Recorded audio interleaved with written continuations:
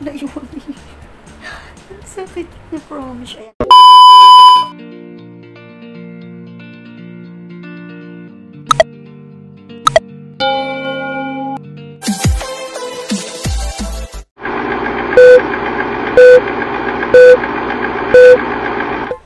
Magandang buhay everyone! Ako nga po pala si Junbi San Pedro at ngayon po ay mag-video tayo tungkol sa waxing ng kilikili ko. Kilikili ko, hindi naman ng kilikili ng kapitbahay namin, kilikili ng kamag-anak ko, o hindi kilikili ng asawa ko, kilikili ko syempre. Ang gagamitin po natin ng pang-wax is yung cold wax, yung parang gamit ko last, may vlog ako na nag-wax ako ng kilikili, ito pa din yun dito kasi kuhiyang, ito yung type kong gamitin. Pero tatry ko din sa susunod yung iba. Cold wax aloe vera. Then, magipit muna ako ng ating kabuhukan. Dahil baka magkasing haba na yung buhok ko sa kilikili ko, tsaka yung buhok ko sa ulo. Kiipit muna tayo para pagkaipit natin is magwawaksa tayo ng kilikili. Hindi sumama sa wax yung buhok natin. Then, magipit muna tayo.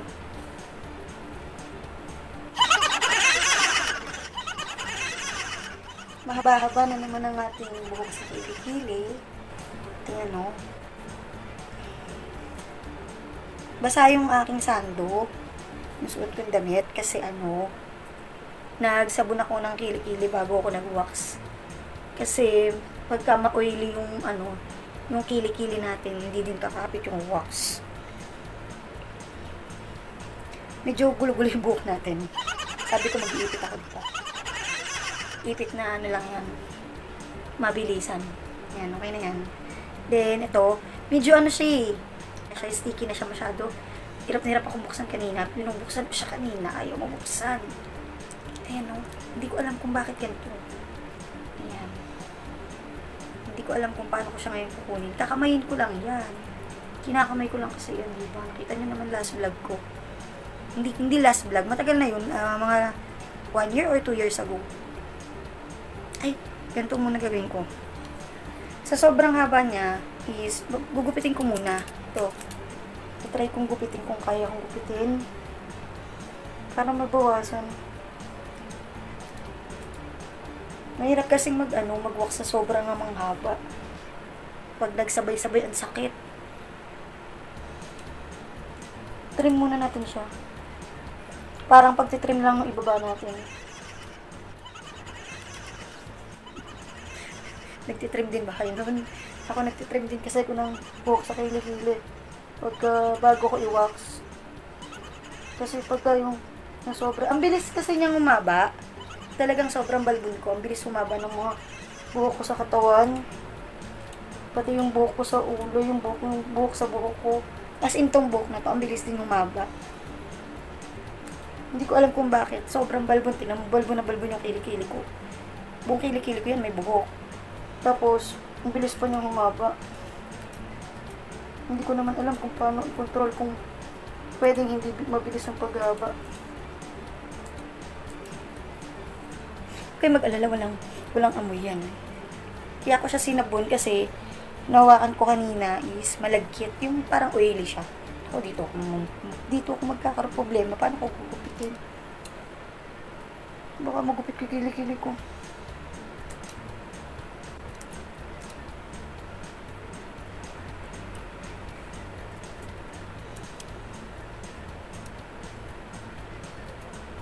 Pero pagka kayo magwa-wax, huwag nyo naman pahaba na sobrang haba. Kasi, hassle din masyado pagka i-wax pag sobra namang haba. Kunyari, nag-wax ako, one week lang maano na yan. Mahaba na agad yung buko sa kilikili. One or two weeks, mahaba na siya. Eh, ang hirap din naman mag-wax mag-isa. Wala naman pwedeng mag-wax sa akin.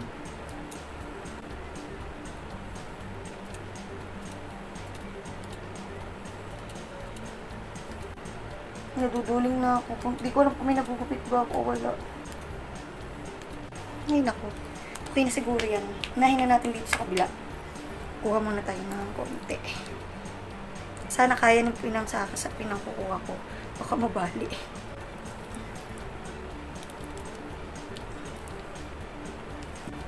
Dali mo, nalagyan ko ng konting pulbos.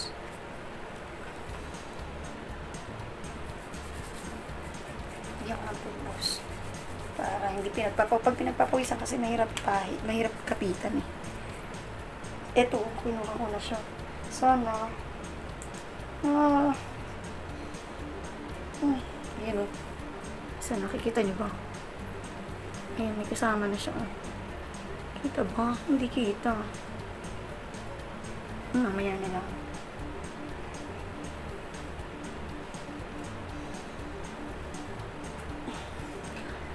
Niya, grabe. Tiis, ganda ka talaga pagka mag-walks ka. Kinakamay ko lang to eh. Pinakuha ko yun ngayon.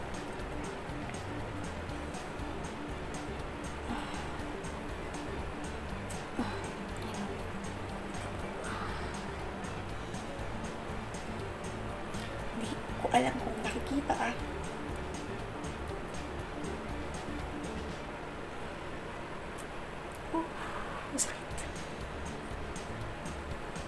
Ayan, kita naman siya, no?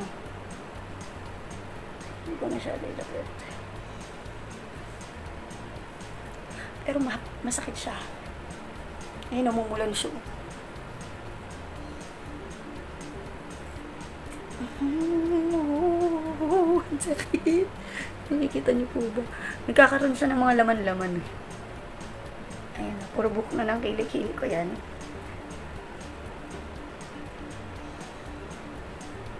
Mamaya-maya, namumula na siya. Tapos may mga dugo-dugo na ako nakakita. Oh, naiwan niya. Ang sakit niya. Promise. Ayan o. Mamumula na siya sa side na to. Yun, natanggalan ko kasi yun. Ayan. Medyo maliit lang yung kinuha ko ngayon. Pero, nilagay ko kasi sa ref yun. Yung cold wax ko. Saglit na saglit lang. Kaya siguro dahil nilagay ko sa ref, kaya sobrang sticky. Sobrang niyang dikit. One, two, three. Ah! sakit niya, promise. Oh my. Ang sakit. Ang sakit niya, promise. Ayan, oh. Ang taba na ng kilig-kilig ko. Ang taba na ng braso ko. Ah, bawal mo na mag-diet ngayon kasi pag nagda-diet ako, medyo nanghihina ako. Ayan o. Dami ng buhok. Ayan o. Dami ng buhok. Kukuha ko maya-maya. Magagamit pa naman siya. Mas maganda nga eh. Mas maganda pala nilalagay sa ref yung wax kahit saglit na saglit lang para nagiging sticky siya. Kasi pagka yung hindi mo nilagay sa hindi siya sticky eh. Ano siya, para siyang, pag hinatak mo siyang ganun, para siyang, basta pag hinatak mo siyang ganun, sumusunod siya agad. Eh ito, kanina, hinatak ko yung takip, ayaw lumabas. As in, ayaw niyang, tingnan mo yung kilikili ko dyan, sa kilikili ko dito. Look at that. Hindi ba? Mas kukunti yung buhok dito, napansin ko yun, mas marami yung buhok dito sa kabila. Pero, kung ganyan, is, tingnan mo, saglit ko lang natanggal. Masakit na lang talaga siya. Huwag naman sobrang iksi pagka magwawax ka kasi hindi din sasama. Huwag din naman, huwag nyo naman akong gayahin na sobrang haba. diba? Kasi sobrang haba nun sa akin, siguro is mga mabilis lang talagang humaba yung buhok ko sa kilikili. Siguro, kayo naman hindi ganun. Mabilis sumaba ang buhok niyo sa kilikili. Ah, ouch! Oh, ang sarap niya. Ang sakit niya, promise. Ayun na. Gulo-gulo talaga yung buhok ko. Hindi ko na naayos. Ang sakit niya. Oh.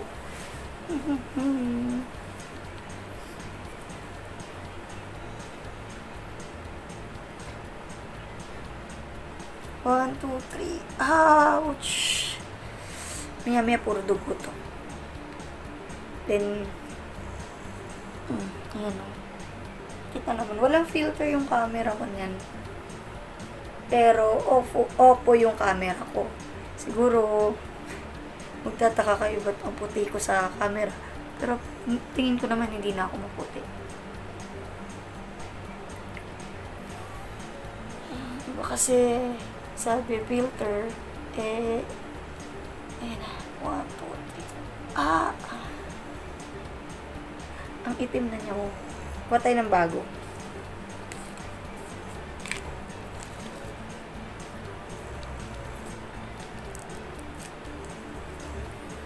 Kuha ko ng bago. Huwag sana mabali.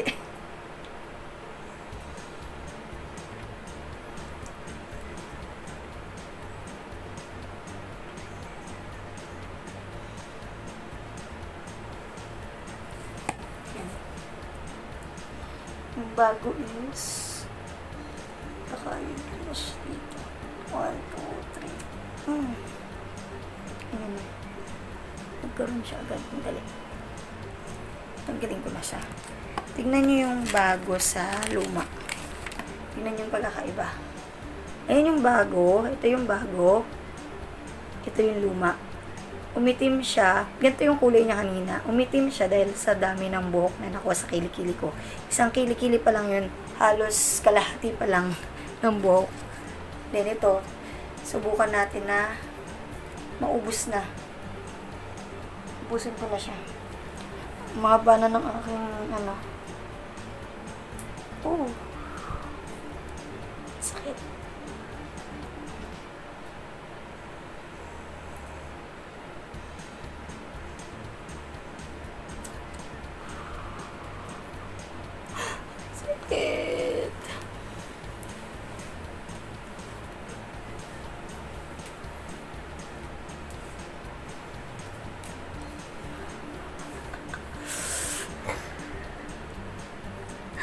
Mukha na akong, mukha na akong baliw. Mukha na akong baliw.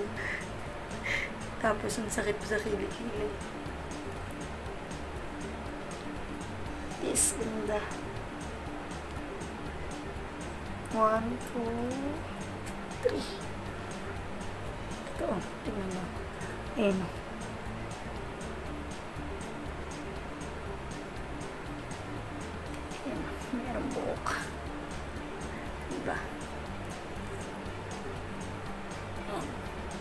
Konti na lang.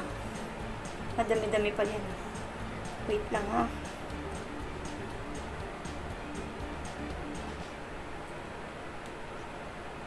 Ah, sakit sumama halos lahat. Konti na lang naiwan.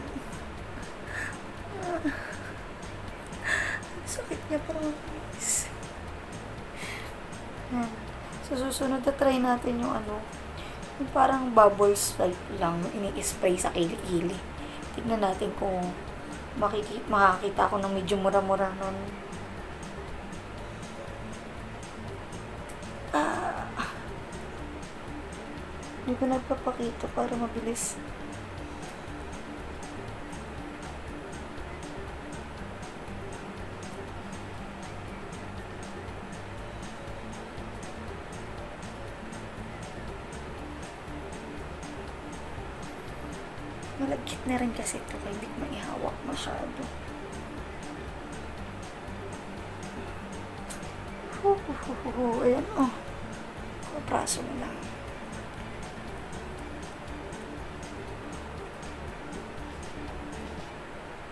Since nung dalaga ako, bata ako, wala akong confident, ipakita yung kilikili ko.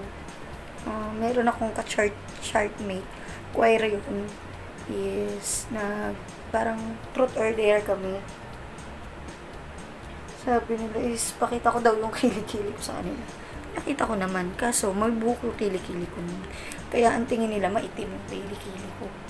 Totally naman pag may buhok yung kilikili, parang ang tingin eh maitim. Diba? Ito wala ng buhok ko. Ayan o. Kausap pa natin. Namumula-mula pa.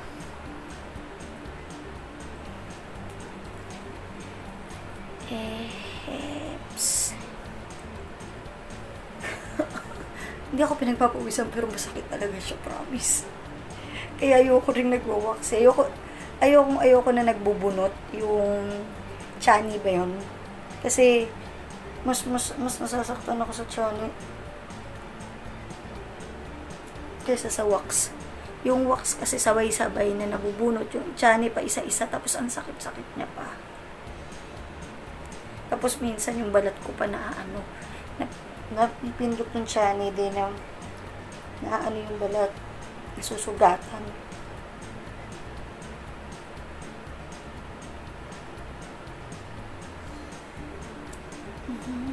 Oop,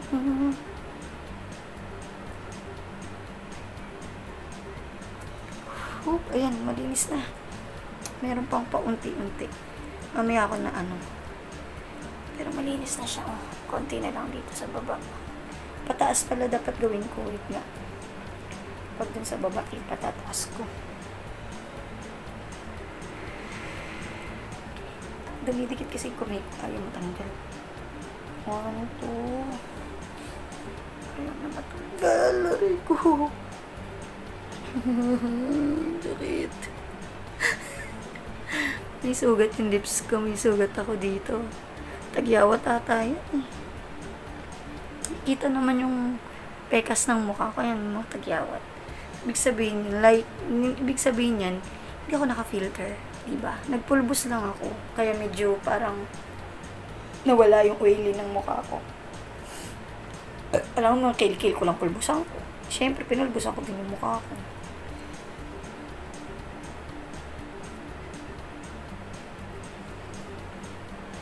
Hmm. Ang hapdi na niya, promise. Dali nga, tama na muna to. Yan, pangalawa yan. Mamaya ako na sisimutin. Pulbusan ko muna ang hapdi eh. Sobrang hapdi niya. sakit, sakit. Ayan na yung kilikili ko kasi may pulbos siya. Kaya tinginin maputi. Ayan. Meron pang mga buhok dito, mga ilang piraso. Pero hindi na halata yan. Ito naman kabila, pinagpapawisan na din. Hmm. Pinagpapawisan siya pero walang amoy. Magkakaamoy lang yung kilikili pagka yung dalawang araw mong hindi hinugasan, syempre. Kaya ayaw isang araw na maghapong pawis sa pawis ka. Pinupulbusan ko talaga siya kasi hindi kakapit. Sakit. Oh. Malaking improvement nung nag-ano ko. Nag-wax ako kaysa sa pag-aahit. Kasi nung nag-wax ako, medyo, yung kilikili ko medyo ano, nawala yung parang butlig-butlig. Chicken skin daw. Chicken skin ata tawag doon. Nawala yung parang butlig-butlig. Then, yung mga linya, di ba may nagkakaroon tayo ng linya sa ano, sa kilikili. Yung linya na maitim, nawala din yun. Kaya malaking pasalamat ko sa wax. Kaso, masakit nga lang. Na-choice ako eh. Gusto kong makapag-sleeveless. Gusto kong pakita kilikili ko. Pero yung braso ko, nag, nabibigatan na ako. Diba? Yung braso ko medyo ano na. Ito. Pinapawisan kasi talaga siya, promise. Sa taas tayo nag-umpisa.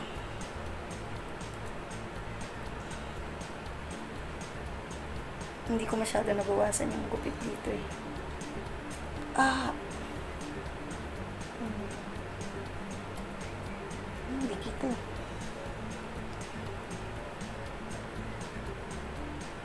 Nasa 20 minutes na yung video natin. Dire-diretso ko na ha.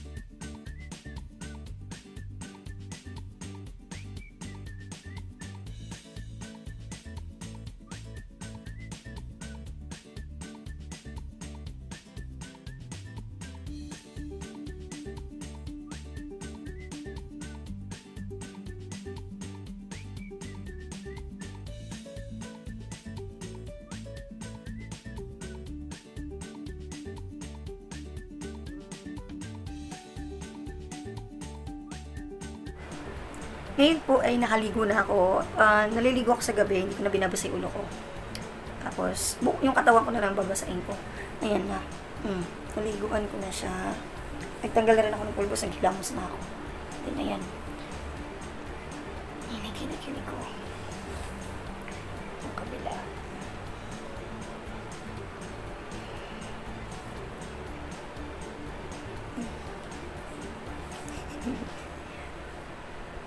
May linya dito.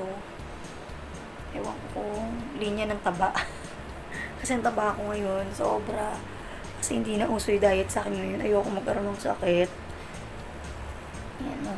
May mga linya siyang ganyan. Pero yung linya na yun, hindi siya maitim. Diba? Yan. And thank you for watching. Goodbye!